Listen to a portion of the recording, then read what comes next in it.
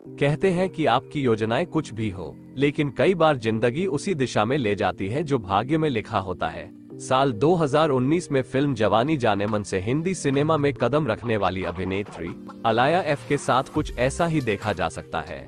अभिनेता कबीर बेदी की नातिन तथा अभिनेत्री पूजा बेदी की बेटी अलाया के लिए एक दौर ऐसा भी था, जब वो एक्टिंग से दूर भाग रही थी। इस बारे में अलाया ने हाल ही में एक इंटरव्यू में कहा, मैं काफ़ी लंबे समय तक एक्टिंग से भागती रही हूँ। मैंने अपने परिवार को फ़िल्म इंडस्ट्री में देखा है। मेरा ऐसा था कि मैं कुछ भी करना चाहती हूँ, लेकिन मैं किसी भी कीमत पर यह नहीं करना चाहती थी।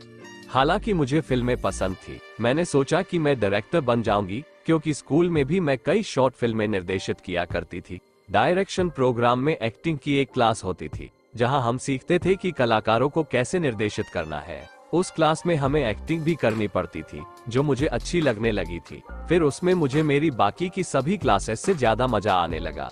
गर्मियों की छुट्टियों में मैं भारत वापस आई और बिना किसी को बताए चुपके से एक्टिंग स्कूल में आवेदन कर दिया। इसके आगे अलाया ने बताया कि उन्होंने अपने घर वालों से इस बारे में पूरी तैयारी के साथ बात की थी कि अगले पाँच वर्षों के लिए उनकी योजना क्या होगी। जिससे उनकी फैमिली भी उन्हें मना नहीं कर पाए। अलाया आगामी दिनों अभिनेता राजकुमार राव के साथ में फ़िल्म श्री में नज़र आएँगी।